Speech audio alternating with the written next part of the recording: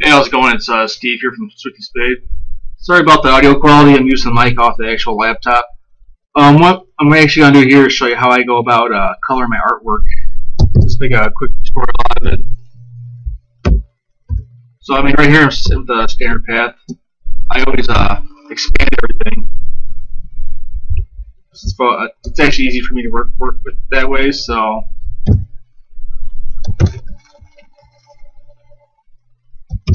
let's see.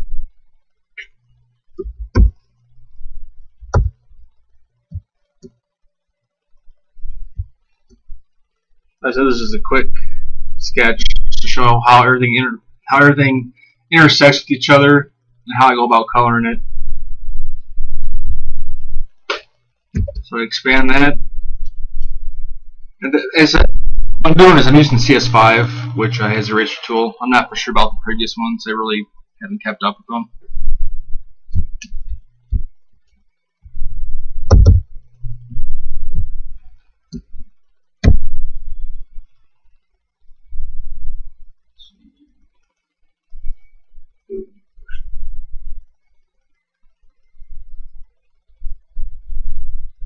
Now, uh, with brushes, you can't just select everything and expand it.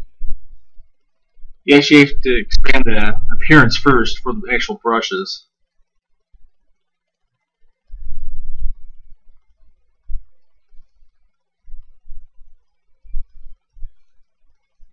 Now, usually, uh, object, expand everything.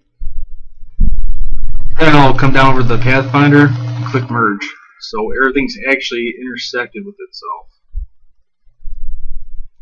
Now, what I normally what I do is I make a couple copies if I don't like uh, the way something works. But I actually make a copy before I merge everything together.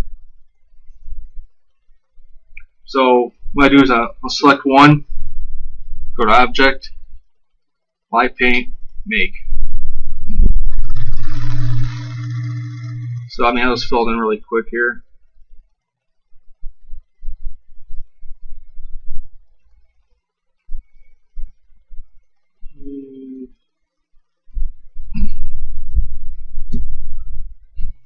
Now, an easy way to shade this is I actually, since I made a copy, I actually have a, the actual black outlines over this layer.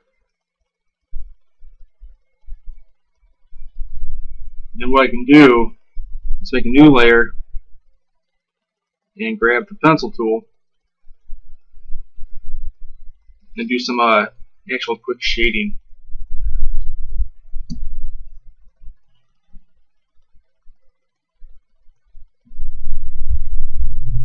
The top layer covers over uh, any imperfections that you'd normally see. This is an easier way to actually layer your shading too. So I just I use PC, so it's Control uh, left bracket.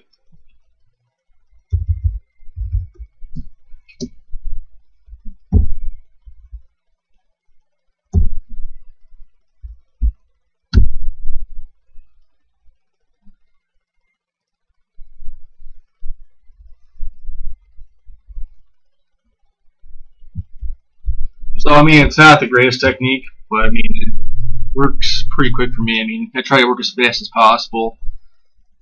Um, the shortcut keys that I do use, I actually uh, set mine the, the expand option. I made it Control E, and the actual uh, eraser would be uh, Shift E. But I mean, I use a Cintiq, so I got the eraser on top of the actual pen itself. So, but uh, actually, hope this helps you out. I mean like I said, it's not the fat, it's not the greatest way, but it works if you want to keep, if you make your artwork and leave it the way it is. You don't want to make any changes to it. It's just a simple, fast way to color.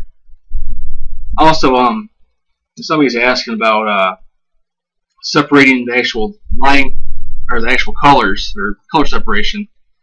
The way I go about doing that is after I uh, see this is still a live paint. What I do is I'd actually go if you're just worried about the black colors, you actually grab the actual full drawing after it's been live, used with live paint, and you go to Object, Expand. click off of it. Then I click or click on the direct select tool. I make a new layer. Click on that color, and the color that you want to separate, and move it up one layer. So you actually have all your colors in each individual layer. And if you have multiple of the same color, what you do is you select that one color, you go to select, same, and fill color. Then I'll grab all the colors of the same, and then you just move them all up to one layer at once. So, like I said, I hope it helps. It's efficient, fast for me, and I hope you can get some use out of it. Appreciate it. Also, also, if you get a chance, uh, go to my website or actually go to my Facebook and uh, hit the like button. Appreciate it. Thanks, and later.